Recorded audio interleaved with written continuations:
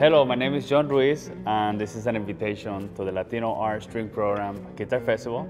This is our 10th year that we have been celebrating this festival. And if you want to be part of this event, we're going to have a full day um, of event related to classical guitar. We're going to have a competition. We're gonna have masterclass, we're gonna have concerts, workshop. Visit our website if you want to participate in the festival.